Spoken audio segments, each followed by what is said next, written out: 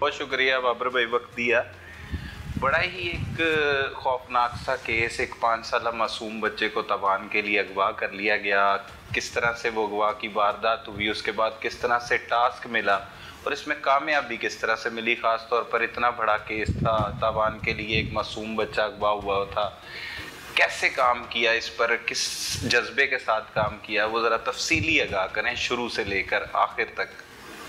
जी बिस्मिल्लाह बहुत शुक्रिया आप तशीफ लाए देखिए जी सबसे पहली बात तो ये है कि ये जो अखबार बरए तावान हुआ ये बड़ी मुद्दत के बाद हुआ। ये ट्रेंड ख़त्म हो गया था और लाहौर पुलिस के लिए एक चैलेंज था। बहुत बड़ा चैलेंज बहुत बड़ा चैलेंज था कि अचानक ये अखबार बरए तावान की वारदात फिर से जन्म ले लिया। हम्म। मुजरमान ने ये कौन लोग हैं? तो ये एक मिस्ट्री थी।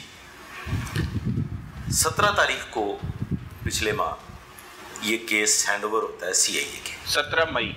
जी जैसा कि आप जानते हैं कि ये सी आई ए हमेशा टेक्निकली और फिर अपनी जो एक एक्सपर्टीज़ है उसको साथ साथ लेके चलते हैं। हमने तकरीबन 48 आवर्स में ये सब कुछ मालूम कर लिया था कि ये हुआ क्या है। अड़तालीस घंटों में। 48 आवर्स में। ठीक है। और शायद अगर ये एक आम नौीयत का केस होता डकेती होती है और इस तरह का कोई भी जुर्म होता तो पुलिस प्रॉम्प्ट एक्शन करती है और फौरी तौर पर मुलमान जो थे उनको गिरफ़्तार किया जा सकता हम्म। लेकिन यहाँ पे एक बच्चे की ज़िंदगी ये हसास इंतहाई सेंसिटिव पाँच साल का मासूम बच्चा है और वो मासूम बच्चा ख़तरे में है। उसकी ज़िंदगी ख़तरे में है। जो मुजरिम हैं उनके मतलब हमें पता चल गया कि इंतहाई शफाक सबका रिकॉर्ड याफ्ता लोग हैं। और इसमें जो एक बड़ा सेंसिटिव पॉइंट ये था कि उस घर की एक औरत उस बच्चे की सौतेली नानी 25 साल मैविश इसका मास्टर माइंड है। अच्छा। जी। ये वारदात शुरू ऐसे होती है कि एक जावेद नामी लड़का है जो मैविश का भाई है। वो शहबाज साहब का रिकॉर्ड याफ्ता क्रिमिनल उसका दोस्त है।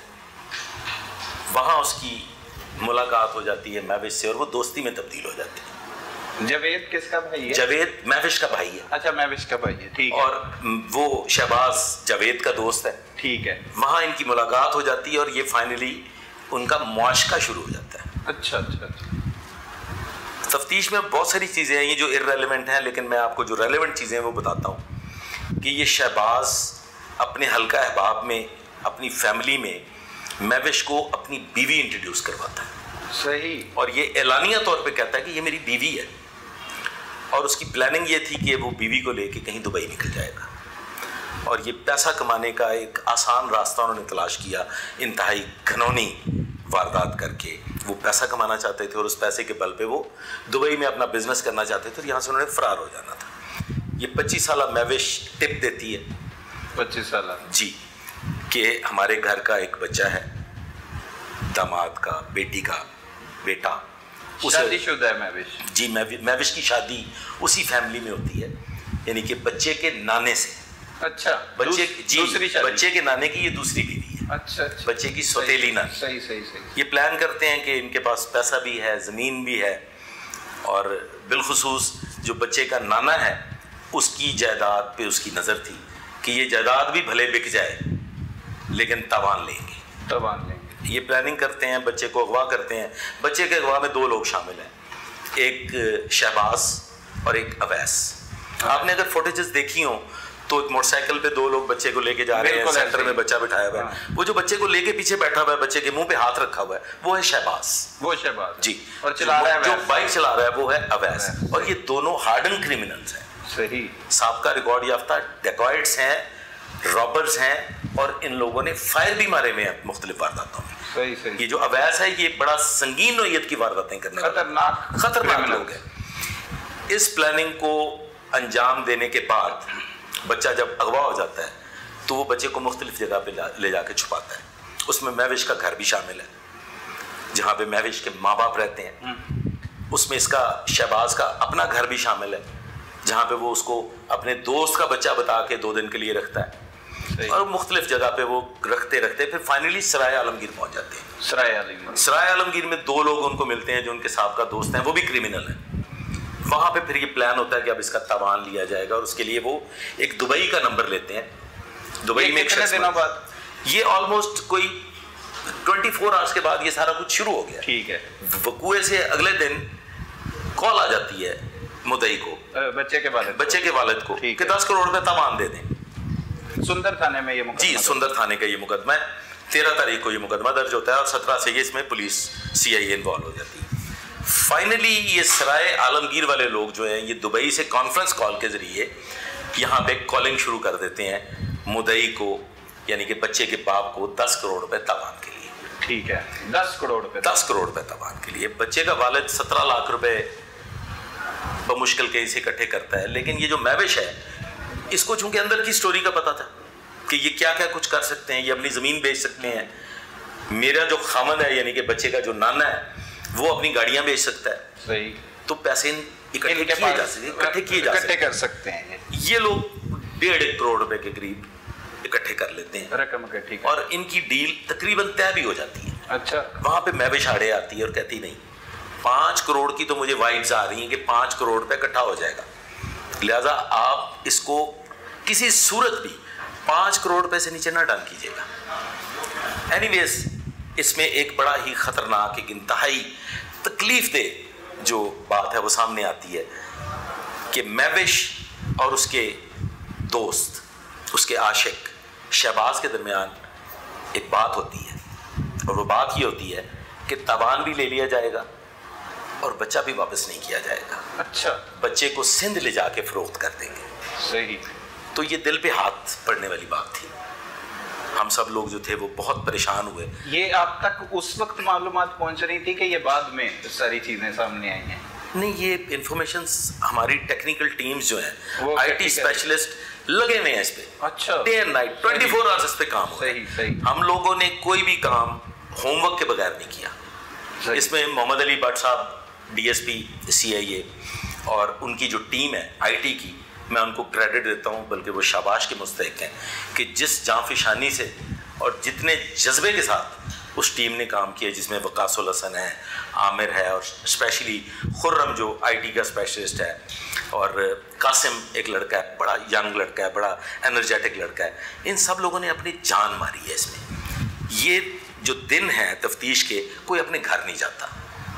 ये जो कमरा आपको नज़र आ रहा है जिसमें आप इस वक्त बैठे हुए हैं ये वेटिंग रूम भी था ये रिटायरिंग रूम भी था ये डाइनिंग रूम भी था। गर्ज ये कि इसी कमरे में सोए भी हैं तो इसी को इन्हीं कुर्सियों पे काम किया है यहीं पे कुर्सी पे थोड़ी देर के लिए गर्दन सीधी कर ली है और वो घर ही नहीं गए। घर नहीं गए क्योंकि कप्तान का हुक्म था। एस पी सी आई खुद नहीं घर गए। उनका ये हुक्म था कि घर जाएँगे नहीं हम। घर हम तब जाएँगे जब ये बच्चा मिल जाएगा। जब केस सॉल्व होगा बच्चा पास बच्चा पासयाब हो जाएगा। और इसमें कोई मुबालगा रही नहीं है। कतई तौर पे मैं कुछ इसमें एग्जैजरेशन से काम नहीं ले रहा। हम लोगों को खाना भूल गया था। हम लोगों को चाय भूल गई थी। चाय तब याद आती थी जब शदीद सर दर्द होता था। जब सीआई के पास ये केस आता है तो फिर 48 आवर्स में हम इसको वाइंड अप कर लेते हैं। हमने अपनी तरफ़ से ये केस कंप्लीट कर लिया 48 आवर्स में। अल्हम्दुलिल्लाह। डिले सिर्फ़ क्या थी? कि बच्चा बखैर आफियत अपने वालदेन के पास पहुँचे। मुजरमान चूँकि हमारे सामने थे हमें पता था कि जैसी भी सूरत हाल होगी हमने नहीं अरेस्ट कर लेना है। ये हमारे हाथ से नहीं निकल सकते। मुलजमान। मुलजमान। उन्हें हमने हर सूरत अरेस्ट कर लेना था। अगर हम प्रॉम्प्ट एक्शन करते तो उसमें बच्चे को नुकसान हो सकता था। सो इसका इंतज़ार किया गया ऐसा माहौल बनाया गया ऐसे सर्कमस्टांसेस बनाए गए। कि हमने उस सफाक मुजरम को मजबूर कर दिया कि वो सरेंडर करे। वो किस तरह से मजबूर किया? देखिए जी इसमें बहुत सारी टेक्निकलिटीज हैं कुछ कोर्ट के इश्यूज़ आ जाते हैं। तो मैं ये शायद ऑन कैमरा ये बातें नहीं बता सकूँगा आपको मैं ऑफ़ द रिकॉर्ड बता दूँगा। हमने उसका शिकंजा टाइट कर दिया सादा ज़ुबान में। हमने उन क्रिमिनल्स के घरों को कॉर्डन ऑफ़ किया हुआ था। हमने जहाँ बच्चा हमें पता था कि रखा गया होगा और वही हमारी बात दुरुस्त साबित हुई।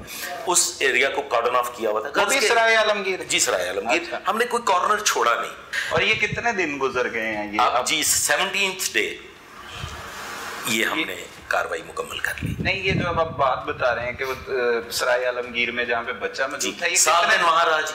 सही सराय आलमगीर में दो दिन एक जगह रहा तीन दिन एक जगह रहा एक रात एक जगह रहा। मुख्तलिफ़ पॉइंट्स पे वो उसको लेके फिरता रहा है सेफ़ रखने के लिए। तो जो फाइनल उसकी जो लंबा पीरियड बनता है वो बनता है सराय आलमगीर का। सो ऑलमोस्ट कुछ सेवन टू एट डेज़ वो सराय आलमगीर में क्याम करता है क्योंकि वहाँ उसके क्रिमिनल साथी मौजूद थे वहाँ डेरा मौजूद था। अच्छा बच्चे के करीब अब पहुँच चुके हैं जी हम बच्चे के करीब पहुँच गए हैं। हमने उस शख्स को मजबूर कर दिया है कि अब वो सरेंडर करेगा। अब उसको अपनी जान भी बचानी है उसने राह फरार भी इख्तियार करनी है और हमने बच्चे को बच्चे को तो फाइनली वो बच्चा हमने बाहिफाजत लाहौर से बाजियाब करवा लिया लाहौर से जी अल्हम्दुलिल्लाह लाहौर से। सराय आलमगीर ना जी ना ना ना बिल्कुल नहीं। अल्हम्दुलिल्लाह लाहौर से वो बच्चा बाजियाब हुआ और वो हमारी प्लानिंग के नतीजे में लाहौर से बरामद हुआ।